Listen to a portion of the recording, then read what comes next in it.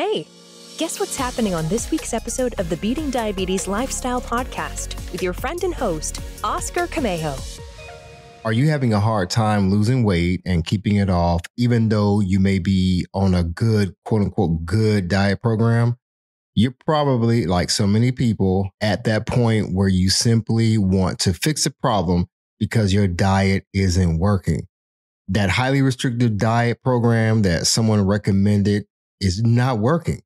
It has you drastically cutting your favorite carbs. It has you counting calories. It has you meal prepping, even though your life is very hectic and you have a lot going on. At this point, you're probably frustrated at the lack of results. You're probably tired of the yo yo dieting, going from one extreme to the next. You're seeing some success and experiencing what feels like failure all the time. Well, today, let's work on getting to the possible root cause and fixing it. In this week's episode, I'm going to talk to you about the psychological diet cycle and how to break it, how to break the weight gain and weight loss and then weight regain that so many people deal with. I'm going to also help you by giving you some recommendations of my three favorite books to help you take your journey of health and long life to the next level. So, my friends, stick around to hear the rest of today's episode. It's going to be a great one that you definitely don't want to miss. Let's go. Be sure to visit the website at www.beatingdiabeteslifestyle.com for access to free resources and other information that will help you along your journey. If you would like to submit a question or a comment about the show or to learn more about the Beating Diabetes lifestyle, you can always email me at hello at beatingdiabeteslifestyle.com. And if you haven't already, be sure to subscribe to this podcast. Welcome to the Beating Diabetes Lifestyle Podcast with me, your host, Oscar Camejo, helping diabetics make lifestyle changes to reverse type 2 diabetes. Today, let's dive straight into this episode. This is why your diabetes diet isn't working and how to fix it. I want to share with you a comment that came from one of my faithful TikTok followers. She's been following for years, and I'm grateful for her to be tuned in, just like I'm grateful for so many other people who follow. This is from Pooh Girl 2022.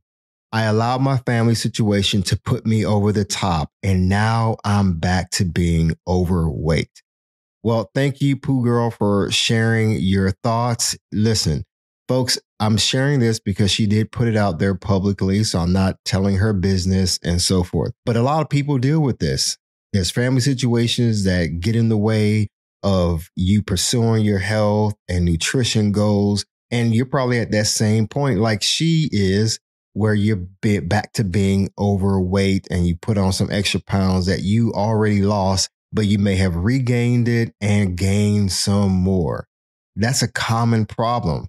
You have life, there's obligations, there's setbacks. I mean, fill in the blank with your own situation you're back to being overweight and dealing with all of these this yo-yo dieting possibly and just going up and down you know you're starting but then not finishing. You're starting and not finishing and you're frustrated.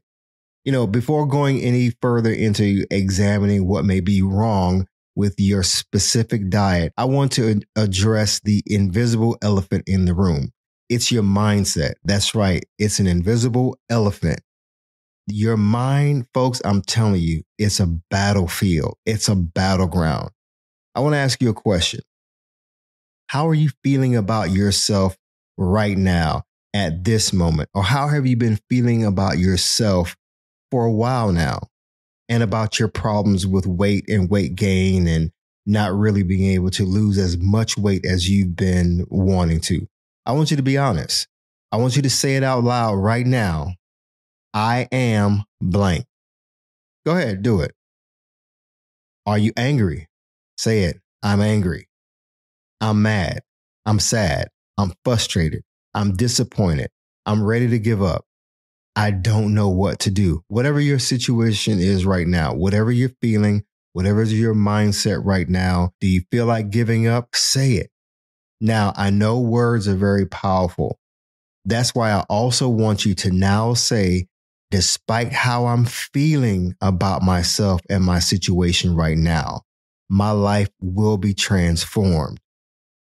And I am going to do whatever it takes to change my mindset so I can change my life.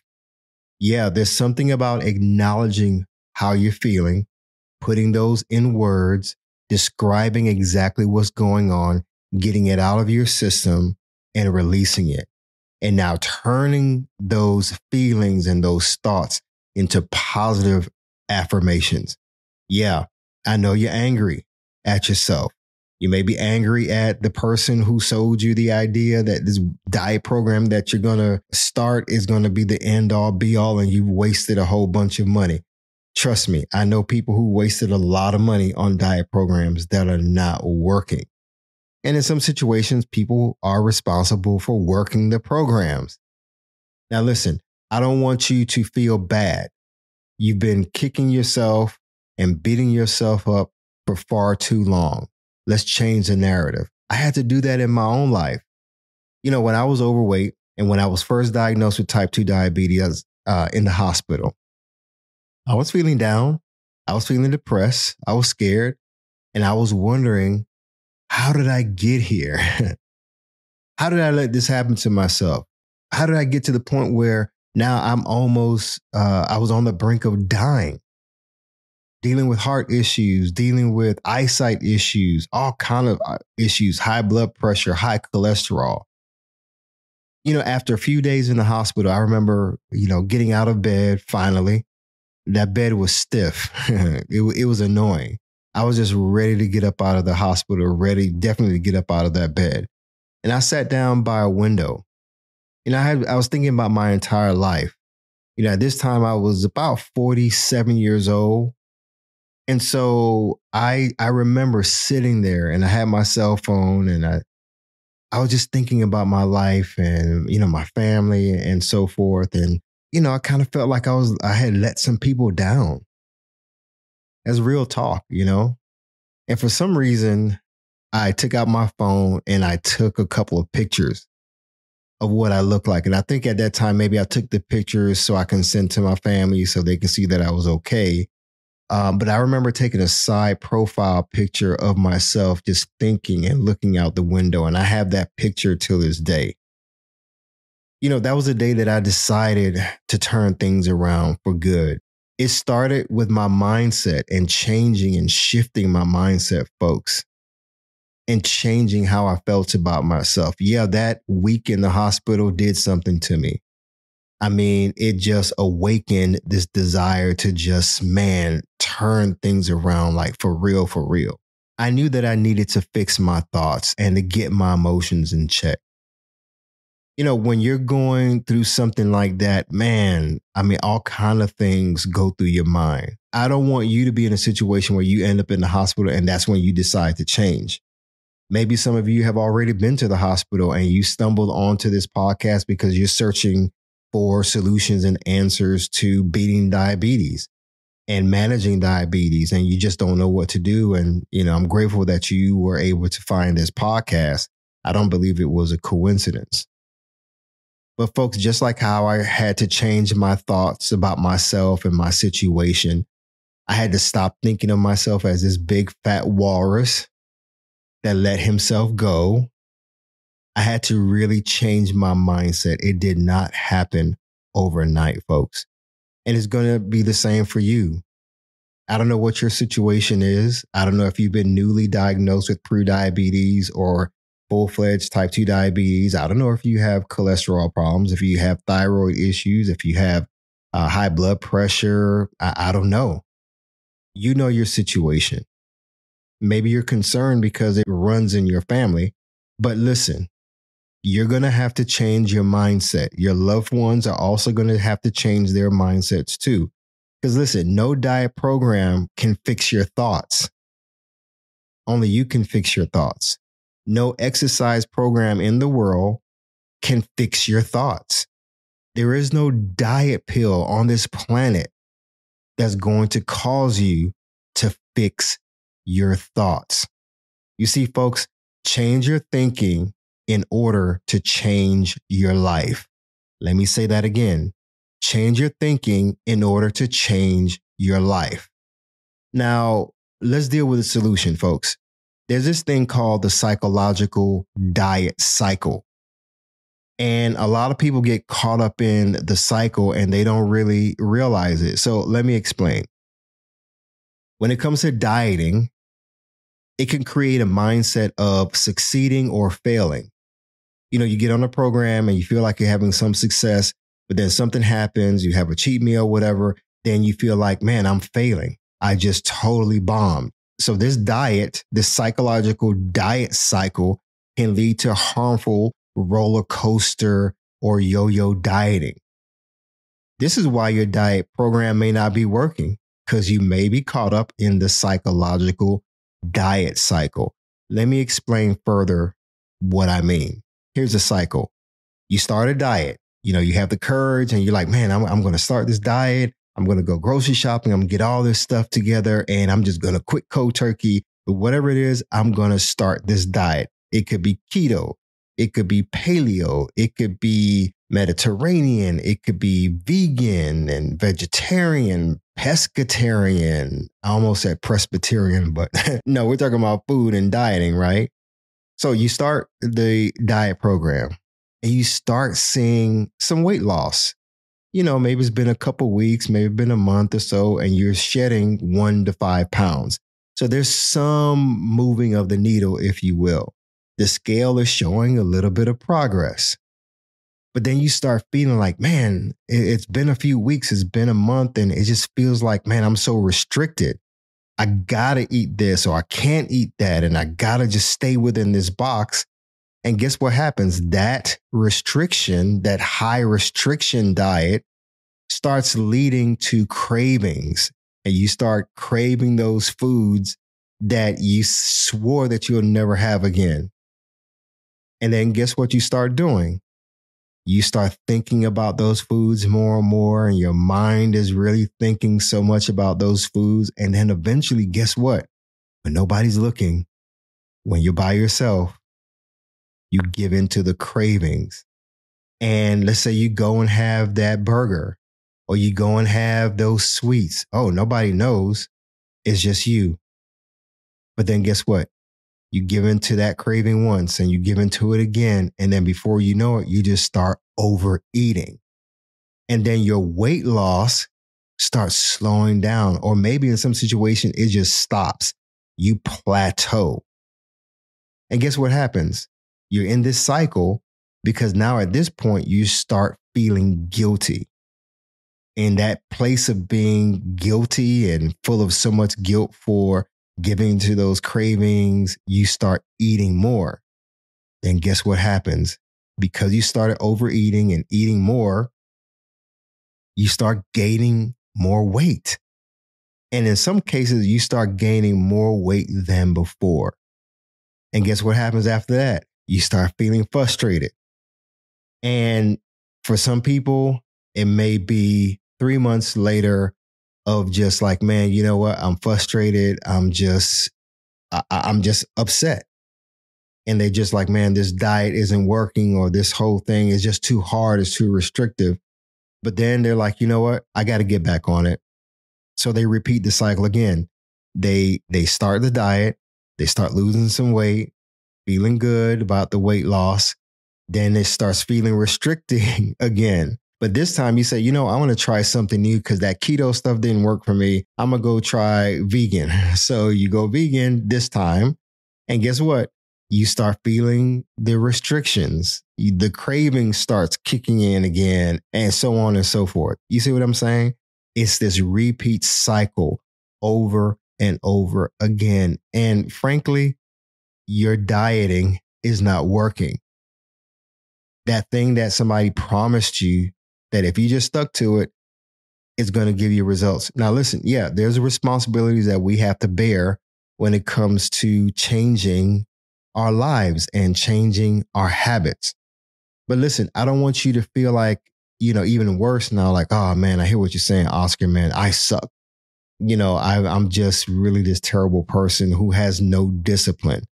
I remember, stop thinking with these negative thoughts You've been beating yourself up for far too long. My goal is to help you to stop the psychological dieting cycle. You see, there's a reason why you have intense cravings while you're on your diet program. There's a reason why you may be turning to food and giving in to having more than one cheat meal a week. You see, when you quickly deprive yourself of bad foods you enjoy, remember the key word is when you quickly deprive yourself, when you quickly just restrict yourself because you started this program and it says for the next 10 days, don't do this, boom, boom, boom, boom. When you do that quickly, when you start getting rid of the quote unquote bad foods quickly and you go cold turkey quickly, you are going to have cravings for those same foods eventually. And then you're going to give into those cravings eventually. You see, you're going to feel like you failed after every cheat meal. Been there, done that. Listen, folks, I know when I first started this um, weight loss journey and I started this podcast and I was telling people, hey, I want you to cut uh, rice, bread, sugars, you know, sweets, pasta, and so forth for the next 10 days. Yeah, there's a place for that. There's some people that, yes, can go cold turkey. There's some things that I did cold turkey, other things that it took me a while. I'm not saying that you shouldn't quickly, you know, restrict certain things, but when you go wholesale and you're not ready, but you're just like, you know what, this piece of paper said to don't eat these things for X amount of period, and you haven't mentally prepared for that, you are going to go back into those bad habits and give into those cravings and so forth. And then you are going to feel like you failed and you are going to feel like you have no success in those programs. It's a cycle, folks. We've all been there. You're not alone, but I'm here to help you. You see, I'm not a fan of those quick weight loss programs anyway. I've never gone on any weight loss program. I'm not trying to disparage any of them. I'm not telling you not to, but I wanted to build a lifestyle for myself that I knew could be sustainable. You see, a lot of these quick weight loss programs, they create all kinds of restrictions that leave you feeling trapped. And eventually, like I said before, the cravings start kicking in and you eventually give in to those cravings. We want to stop the cycle. We want to stop the psychological dieting. I believe that cravings and overeating has to be dealt slowly and steadily, not overnight. Now, specifically for my diabetic listeners, you know, you've been diagnosed with prediabetes or type 2 diabetes. If you're overweight right now and you've been dealing with weight problems for a very long time, I know you want to shed those pounds real quickly. I know when I was in the hospital, I was li- literally sitting in that chair by the window I was telling you about, and I, I remember looking at my stomach and touching my stomach. And I was like, dang, man, you got to get rid of this stuff.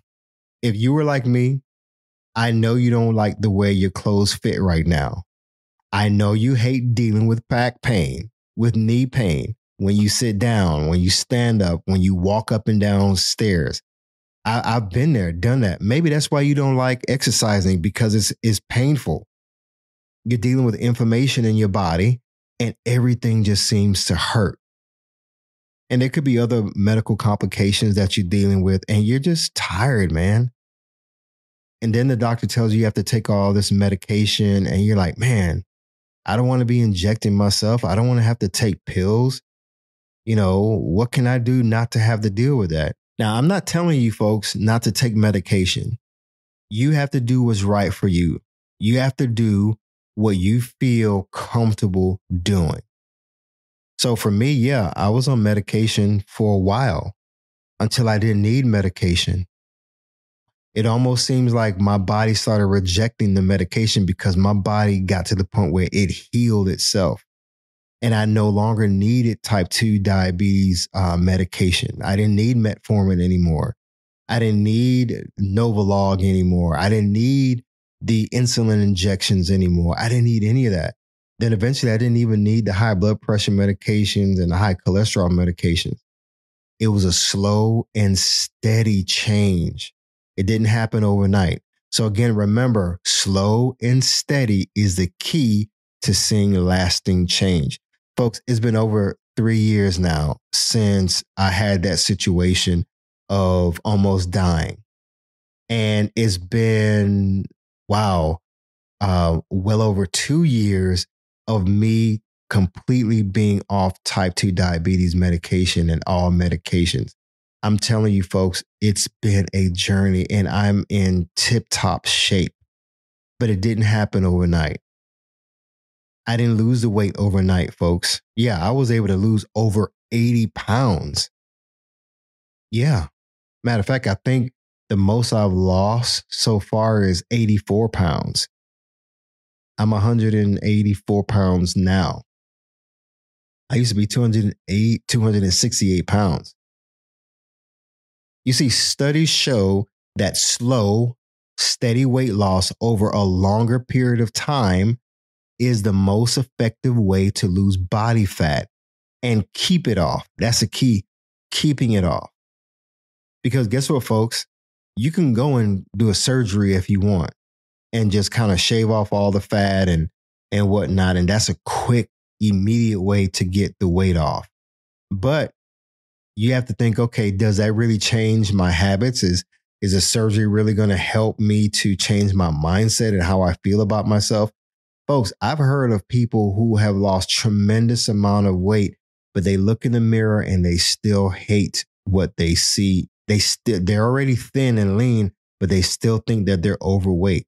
There's people dealing with um, disorders, you know, eating disorders, and they're dealing with maybe some trauma and they've used food to comfort themselves. So there's a whole other side of the mental and mindset chains that have to be dealt with in a lot of situations. If that's you and you've been dealing with some psychological issues when it comes to just how you feel about yourself, the depression and so forth, and maybe there's been some trauma in your life and you had to turn to food or you've chosen to turn to food to comfort yourself, man, my heart goes out to you all. Maybe you know someone who's dealing with that and they're just kind of dealing with some eating disorders. I do recommend that you get some professional help to help you to navigate through that because that's a real thing. And some people have, you know, not been able to recover from it. And I want you all to be able to recover from those challenges and, you know, live a healthier life. Okay, so now let's move on. When it comes to certain foods that you may be deciding should you cut cold turkey or not, I want you to think about this.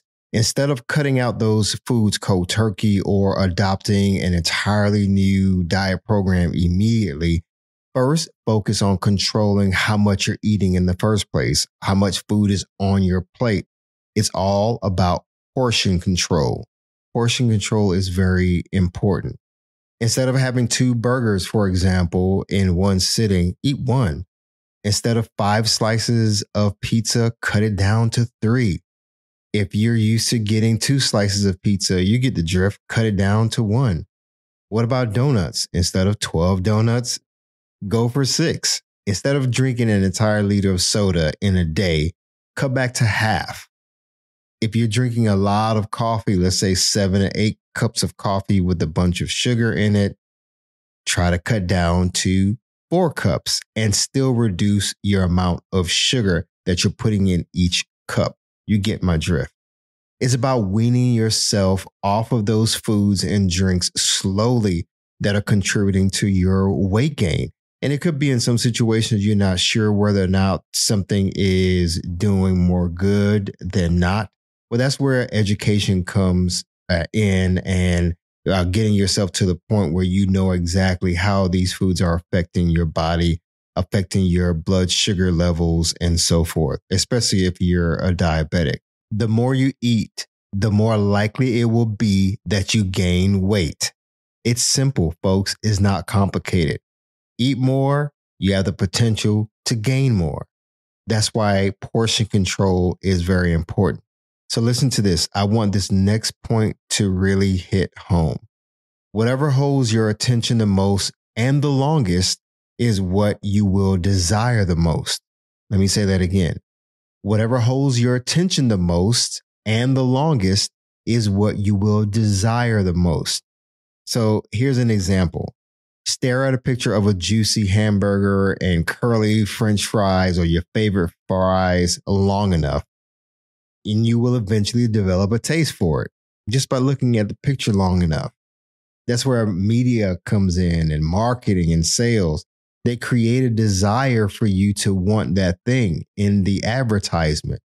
You know, it's a reason why the picture of the burgers looks so shiny and nice and huge, and you can see all the details of the crispy bacon and cheese and all the stuff that you just absolutely love and can't live without is going to create a desire for those things the more and more you pay attention to it. Think about it when you're scrolling through social media late at night and you're probably already snacking on some stuff like it used to be for me, you know, what they call like grazing. You're constantly getting up and getting something to eat while you're watching television or you're scrolling on social media, like I said, whatever the case may be. And you're seeing all these different ads pop up for food. It could be late at night, it could be early in the morning, it could be in the middle of the day, but you're seeing these constant ads for foods and so forth. And guess what happens? You have this desire and taste for those things. So again, whatever holds your attention the most and the longest is what you will desire the most. If it captures and holds your attention, folks, they got you. I want you now to begin redirecting your focus towards healthier things in order to feed your mind. It could be nutrition, physical exercise, what have you. The goal is to now begin to feed your mind. Because again, the thing that's holding your attention the most and the longest is what you're going to desire. So just use that as a principle. If I give this thing my attention, I'm going to desire it. So let's focus on nutrition for a second. I want you to begin spending more time in the produce aisle, for example. When you go to the grocery store, you're probably used to going up and down the chips aisle, the soda drinks aisle, or the uh, ice cream aisle, what have you. I want you to now take your time, slow down, go to the produce aisle where all the fresh, whole vegetables are, not the aisle that has a frozen bags of food and produce. I want you to go to the whole, uh, the, the section where you have the whole produce, right? And just spend some time, just slow down. I know you may be in a rush sometimes, but don't go grocery shopping when you're in a rush. Because nine times out of 10, you're going to pick up a bunch of stuff that you can just quickly make. You have these box foods that, that are frozen and you just heat it up and you have your TV dinners, as they say, which are full of a bunch of sodium and in some cases, a lot of artificial flavorings that you don't need. You know, sugars that don't belong in dinner foods at all. It's just packed full of stuff that you don't need just for taste and so forth. I can get on a soapbox and I don't want to do that right now. So I want you to slow down. Go to the produce aisle or the produce section of your favorite store. And I want you to look at all the variety of vegetables and fruit that are out there. Just take take time. Do you know there's different types of oranges? There's the navel oranges, you have your blood um oranges, but what they call it, the blood red oranges. Man, those are really good. There's different types of kiwi. I always thought that kiwi was just green, but man, there's all kinds of kiwi out there. You know, uh, in the produce aisle, there's more than just broccoli, folks. And guess what? There's more than just spinach. When I started learning about sleep and really having a good night's sleep and also having um, better control of nervous system and just mood and so forth. I learned a lot about magnesium and I learned about the benefits of magnesium to the body. So I was like, man, the more I'm reading, the more I'm wanting to desire, uh, excuse me, the more I'm wanting to eat those things and try it out. So I found out about Swiss chard that's full of a bunch of magnesium. And I'm like, man, I have never heard of Swiss chard before. And guess what? I sometimes get it and I put it in my foods. I put it in my smoothies sometimes. So again, slow down and stop rushing. Spend less time in the snack aisles, the chips aisles. Guys, there's a thousand brands and flavors of chips out there that you can just get lost. And before you know it, your shopping cart is full of a bunch of stuff that you don't need just from the snack aisle and the chips aisle and the soda aisle. Oh my gosh, there's so many brands and flavors of soda. It's just ridiculous. And it's all that's a sugar aisle. I'm telling you. Sugar, sugar, sugar, artificial sugar left and right. All kinds of things to satisfy, you know, your taste buds, as they say. But I want you to spend less time down those aisles. I want you to spend time looking at things that are healthier for you. Because again, whatever holds your attention the most is and the longest is what you're going to desire. If you're spending 10 minutes on the chips aisle, what do you think is going to happen? You're going to grab you some chips. You know, I'm not an anti chip person, but I mean, think about it. How many times have you gone to the store and you're on the chips aisle or the cookies aisle and there's all these different options and it's hard for you to choose so you get more than one kind you get some for this person who likes this in your household or this person or let's say if you're single and you live by yourself you still have these different options and you stay there long enough and you're like oh you know what there's the oreos oh you know there's the the chocolate chips over here the, these are mushy so i can have those with milk you know on friday and before you know it you have like three different types of cookie packages in your uh, cart. And you say, you know, I'm just going to have these for my cheat day at the end of the week. Yeah, right. You tell me, you you you want me to believe that those cookies are just going to sit in your cabinet or on top of the counter day in and day out until the end of the week? Come on now. Don't set yourself up for failure, folks. You know, you're working on something and I want to help you out. So again, we want to redirect our focus towards healthier things. So again, remember, whatever holds your attention the most and the longest is what? Yes, that's right. Is the thing that you will desire the most. Same thing with physical exercise. Rather than wait on the desire to work out, you have to create it, folks. You know, it's just not going to happen overnight. You know, for me, I had to get to the point where it was it, it was a habit to pack my gym bag the night before, not few minutes before I'm deciding whether or not to go to the gym. No, my bags are packed, ready to go. But it took some time. So again, I wanted for myself to start focusing more on physical exercise. So I had to surround myself with things that are going to remind me about, you know, exercise whether it's downloading an app and getting a, a notification to say, hey, it's time to exercise.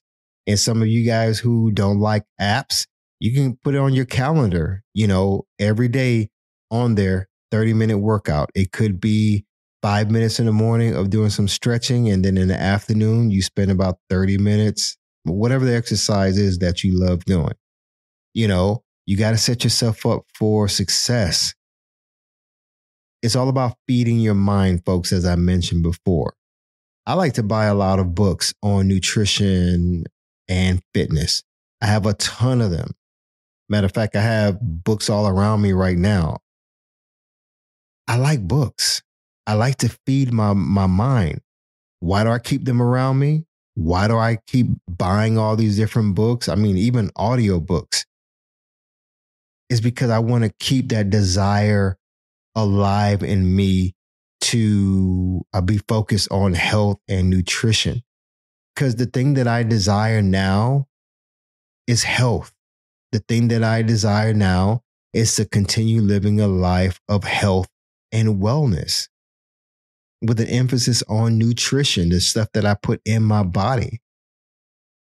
I read a lot of articles, blog posts, I watch a lot of YouTube fitness channels and I follow social media influencers who focus on health and nutrition because I'm constantly feeding that desire for healthy things, whether it's for mental stimulation or for physical uh, maintenance. I just love those things. Matter of fact, I recently bought two books.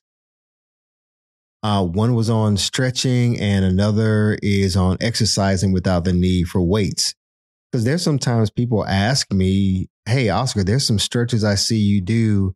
Can you walk me through, you know, increasing my stretching and flexibility?" So, guess what I do? I keep educating myself on stretching there's people that come up to me and they're like, Hey, Oscar, I don't like working out in the gym where everybody else is and lifting the heavy weights. I see that you do some body weight exercises. Can you help me out? Oh, sure, I could do that. Because you never know. One day you could be just studying something and reading something and, or listening to a podcast like this one, and something just clicks in you, and you're like, you know what? I'm ready for change and you just go into this, you know what? I'm never going back mode. You know, the other day on social media, I posted this before and after picture of myself. Um, on one side, I had a picture of how I looked, man, when I was pretty much at my biggest. I was looking at my eyes and I was like, man, there's these dark circles around my eyes. And man, no wonder I was going through all this stuff. Matter of fact, on my desk right now, as I'm recording this podcast, I have a picture of me. Man, I'm in this button down shirt. My cheeks are just chubby, and I didn't have a beard at the time like I do now. And I look at that and I'm like, it's me. I remember when I took that picture, but I don't look like me that I mean, I don't look like that now. I showed some people the before and after picture the other day. It was another picture and people were like commenting like man dude your transformation is just just wild and you look like a totally different person. You're unrecognizable in that picture. And i'm like i know man. It's because i had to change my mindset folks like i started telling you earlier.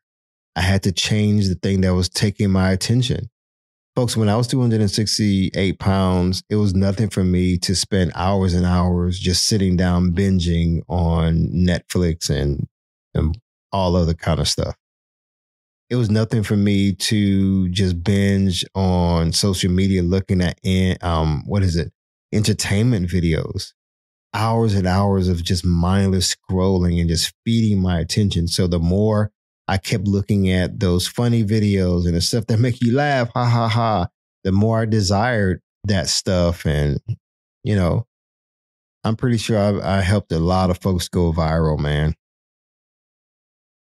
So, if you're a diabetic and you're dealing with diabetes complications, and your diabetes diet isn't working, I'm going to tell you right now what will work.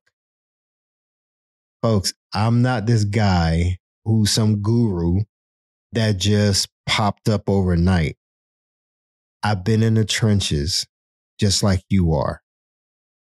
I know exactly what you're feeling like. I know by experience what it is to be overweight, sluggish, tired, and just like man dealing with certain habits food cravings that just seems like it's just so overwhelming. Yeah my diabetes diet that people were telling me to follow and stuff that i would hear man that stuff wasn't working man. You know being so restrictive and counting calories. I'm not a calorie counter. I pay attention to calories but i don't i don't you know i, I just don't have time man to really just sit there and measuring out five peanuts. I don't have time to like, you know, sit there and only eating two strawberries. I don't measure when I make my smoothies in the morning or in the afternoon. I'm not sitting there measuring out, oh, let me count out 12 blueberries. No, I just I eyeball everything that I that I put in there. Oh, here's just a bunch of spinach. I just put it in there. I'm not looking at, you know, let me cut this banana in half. Uh, I'm not doing that. Now, I'm not contradicting what I said earlier about cutting back. Don't, don't think that I'm contradicting myself. But my point is, your diet isn't working. It's simply not working. for whatever reason. It could be the mindset. It, everything rises and falls with what happens in the mind, hands down. Your diet isn't failing uh, and not working because you're a terrible person or because you're just, you know, just unsuccessful at it. It's just you have to build a habit, guys. And I really believe with my whole heart that we've been paying too much attention to the wrong things or the things that are really not helping us. So if your diabetes diet or your diet in general is not working, it's time to fix it. Let me give you what I know works. And it's going to be very basic and very simple. You're going to be like, is that it? Yeah, that's it. Now, how you go about executing it, it's on you. But I wholeheartedly, folks, believe that this stuff should not be complicated. What I'm telling you doesn't require you signing up for a specific program to to to accomplish. What I'm telling you doesn't require you to hire a personal trainer. I'm not against doing it, but I'm telling you guys, you can achieve these results by putting these things into place. Okay, let me go ahead and share with you. Here are six things that I believe will work. Now, it's just not just one of these things and just try one thing and then see what it what will happen. This is a collection of things that's going to help you to build a lifestyle that's sustainable so you can lose the weight and keep it off. Number 1, eat a healthy, balanced diet more than you eat the non-healthy and the unbalanced diet of food. So again, eat a healthy, balanced diet more. Eat more of it. Eat more healthier foods. Eat more foods that are uh, will give you a balanced diet. More than you eat the non-healthy food. Number two, practice portion control, like I mentioned before, rather than overloading your plate. Man, stay away from the all you can eat places folks. You don't need to be eating at uh, the all you can eat places. You're just setting yourself up for failure. You're just setting yourself up, you know, for going backwards and getting caught back up in that psychological diet cycle that we talked about uh, earlier. Number three, listen to your body. Eat when you're hungry and stop eating just to be eating. I don't care if that diet program told you, oh, eat six times a, a, a day. Man, what if you're not hungry six times a day? You're just going to be eating because this paper told you to start eating six times a day? Come on, folks. Let's be smart. Eat when you're hungry and stop when you're almost full. You see, there may be a situation right now that you're dealing with where you don't realize that you know that you are full but you just keep eating and eating and eating. You know there's a whole issue where that's concerned some things that you know i don't have enough time to deal with in this podcast episode. But it's something that i do recommend that you pay attention to. Listen to your body. Again eat when you're hungry. You know if you have a routine eat during that window of time. Stick to that routine. Make sure it's easy, it's simple to follow, and so forth. And don't graze where you just constantly be, you know, snacking and and so forth. And if you are going to be grazing, have some healthy stuff in the house, folks. All right, number four, exercise at least 30 minutes a day. Yeah, that's right. Does that mean you have to go to the gym every day? No. I want you to engage in some type of exercise every day for 30 minutes. I'm pretty sure you can find 30 minutes to exercise. It could be walking 30 minutes a day. You can walk around your house and get your 30 minutes in. If you're mindlessly scrolling on social media, you know, okay, if you if you absolutely have to be on social media while you're exercising, at least walk around your neighborhood or you know, some people go to the mall and just walk around. For those of y'all who love shopping, do your 30 minutes at the mall. Come on, you could fit those 30 minutes in. I know some of you who sneak away, you know, during lunch uh, your lunch break at work and you go to the mall because you just have to see the new outfits and you just have to see the new whatever, whatever. Well, use that time, put on some sneakers, man, and walk the mall. You know, go to your park or whatnot. So you you get my point. Number five, manage stress so that it doesn't drive you to eating comfort food. Folks, stress management is so important because, you know, your moods affect how you approach eating. And I'm telling you, if you're stressed out, sometimes the last thing that's on your mind is to eat something healthy. You don't want to eat rabbit food when you're stressed out. Who wants to eat a salad when you're stressed out and bugging out after what's going on at work, man? You know, so stress management is very important. There's breathing exercises you can do. I mean, I love when I go out running I don't listen to music sometimes. Most of the time, I don't. I just take in the sounds of whatever. I love hiking and trail running, and I'm out there in the woods by myself, and it's peaceful. It's calming. There's so many things you can do to manage stress. That was a big thing for me.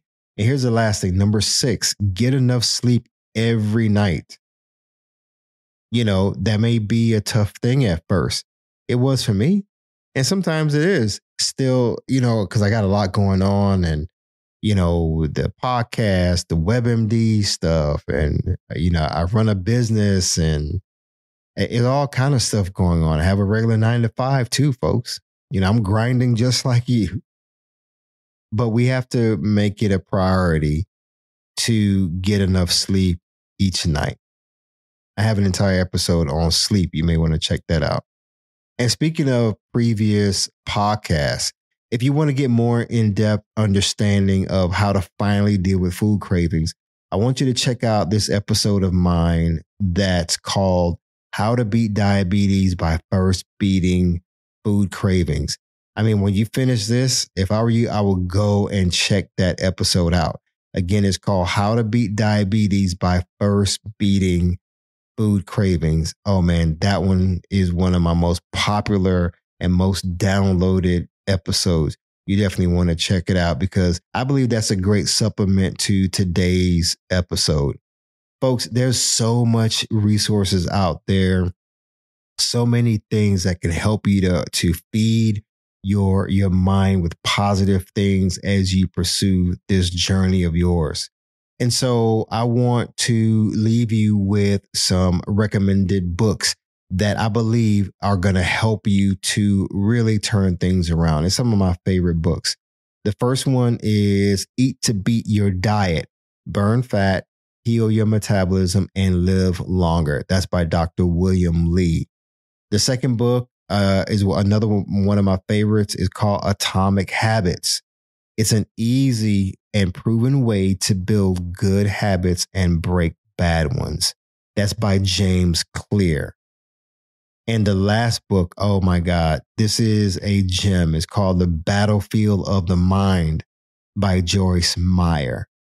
Uh, all three of those books, folks, I mean, and I'll leave a link in the show notes of this podcast uh, to these books so that you can see for yourself how these uh, books will impact your life. I mean, it, it's nothing like just constantly feeding your mind, feeding your heart, feeding your soul, feeding your spirit with positive things about, you know, health, wellness, total life, uh, health, and prosperity. Guys, we're supposed to be prospering in, in our bodies and having good health. I'm telling you, folks, I'm in the best shape of my life I'm in the best mental space of my life. But it all started with me focusing on changing my mindset about myself and turning things around. So, the reason why your diet may not be working is because maybe your focus is in the wrong place. So, my friends, as always, stay focused, keep moving, never go back, leap forward, bounce back because you can, my friend. And above all else, Trust God. You got this. I believe in you. Hi, everyone. Thank you for tuning in to the Beating Diabetes Lifestyle Podcast with Oscar Camejo. We hope you enjoyed this episode. As a reminder, this podcast is intended for motivational and educational purposes only. It is not a substitute for professional care by a physician or other healthcare professional or qualified fitness instructor. This podcast is provided on the understanding that it does not constitute medical or professional advice or services. If you're looking for help on your journey, seek a qualified medical practitioner. It's important that you utilize someone who is a trained, licensed healthcare professional who can help you on your journey toward good health.